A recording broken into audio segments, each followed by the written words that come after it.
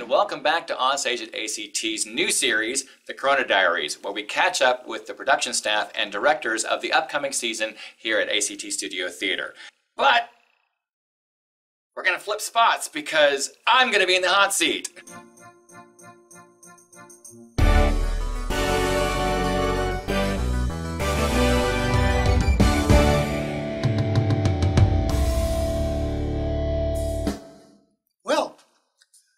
Take the role of interviewer today, and Yes. Stuart is in the hot seat as the director in question.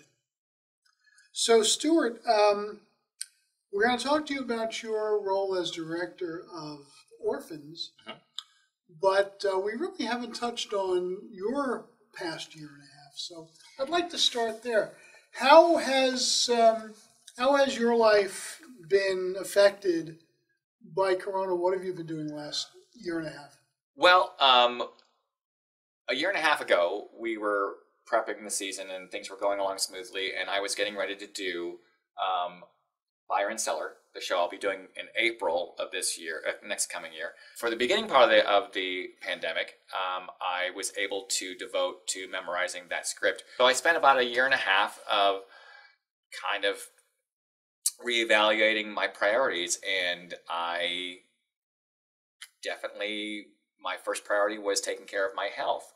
So I took advantage of the home gym I had installed and went on a, a good, healthy, clean diet and um, took off 23 pounds, put 17 of it back on in the gym. And so I, I definitely worked on reshaping myself and then making sure that this body is going to last as long as possible. Um, I will throw in an observation that uh, the work you've done on yourself physically has been outstanding, and you you, you look super healthy and uh, very buff.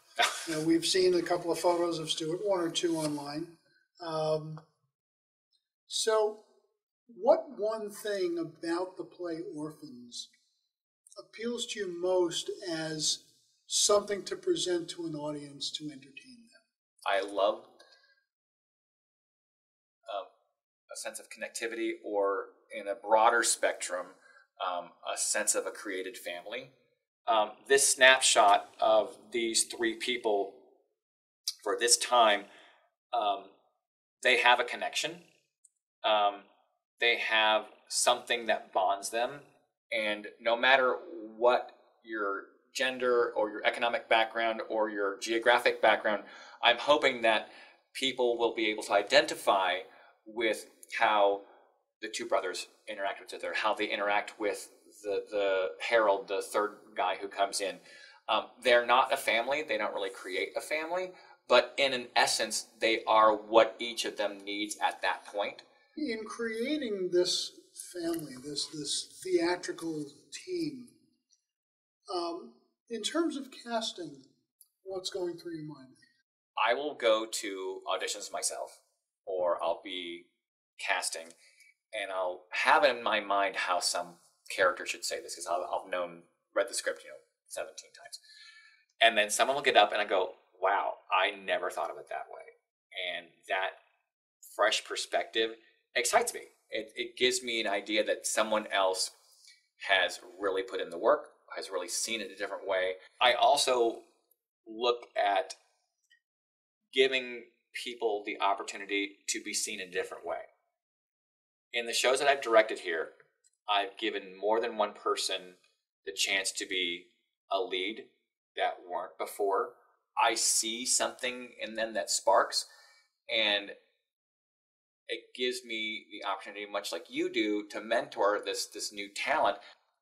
It's going to be a great show. It's it's funny, it's emotional. It's got some some tense drama. Um, it's one of those things where you say is it, it, it's like when they talk, you know, it's I laughed, I cried, it was better than cats, kind of that kind of that thing. So it does. It's not a well-known show, but I hope at least I was going to say, but I hope at least within our circle here, it will become one. Well, thank you very much. I wish you a lot of luck in casting. And I so I hope so too. And uh, that'll wrap it for today Yeah. for um, for our uh, Corona diaries. And we'll be back again with other directors and other shows. And uh, we look forward to seeing you at the theater. We'll catch you later. Bye, guys.